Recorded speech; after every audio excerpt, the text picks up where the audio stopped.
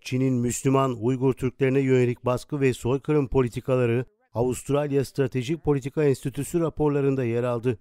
Rapora göre Çin hükümeti Uygur Türklerini dünya ünlü bazı markaların fabrikalarında zorla çalıştırıyor. Avustralya Stratejik Politika Enstitüsü tarafından yayınlanan rapora göre 2017 yılından bu yana bir kısmı doğrudan toplama kamplarından alınan Sincan Uygur Özerk Bölgesi'ndeki 80 binden fazla Müslüman Uygur Türk'ü Çin'deki dünya ünlü şirketlerin fabrikalarında zorla çalıştırılıyor.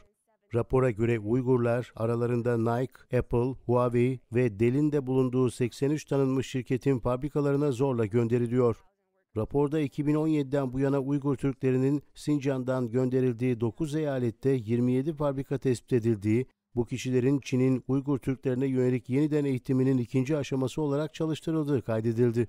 Rapora göre Uygurların gözaltı tehditleri nedeniyle bu fabrikalarda görevlerini reddetmesi veya bu görevlerden kaçması son derece zor. Raporda ayrıca fabrikalardaki Uygur Türklerinin iş saatlerinin dışında Çince dersleri almaya ve ideolojik olarak eğitim görmeye zorlandığı, sürekli gözetim altında tutulduğu ve ibadet etmelerine izin verilmediği belirtildi. Raporda dikkat çeken noktalardan biri de yabancı şirketlerin bu insan hakları ihlallerine muhtemelen bilmeden karıştığı ifade ediliyor.